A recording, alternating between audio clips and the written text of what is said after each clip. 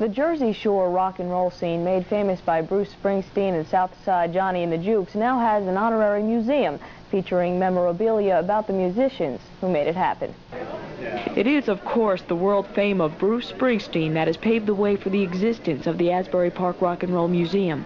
That fame has also provided the media blitz send-off for the relatively tiny Palace Amusement attraction. But the grand opening last night did not smack of the born in the USA Bruce bravura that set the world on fire, but rather of reunion. And while Bruce is the quintessential good old boy, the old boys that inhabit his haunting musical tales have felt a sense of being lost in the shuffle. You get the feeling like, thank God they remember. And uh, it makes me feel real good. And uh, it's good for everybody with the, what Billy and Steve are doing, for all the musicians, to let know, to let people out there know there's a lot of talent in this area.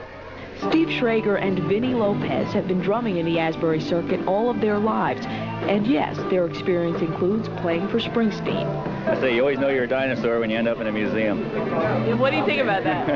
I think it's okay. I like it. It's bringing back some of the old guys that uh, have stayed away with away from music for a while. They're coming back. They they renewed their interest in it. All the all the local artists are, are very pleased with the way it came out. They they sort of feel honored to, to be included on the walls with with the big names, and uh, we want to give them their moment in the sun.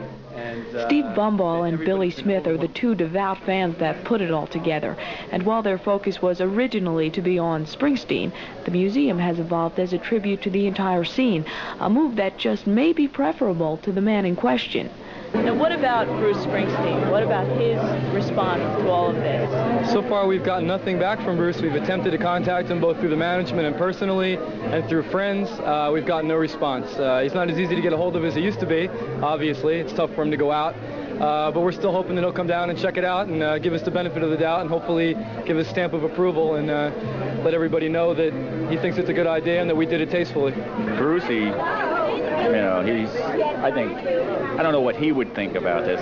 I just don't know. Because he was never one for hoopla anyway, you know. But the museum's a good thing for the people, like, just the old guys, like I said.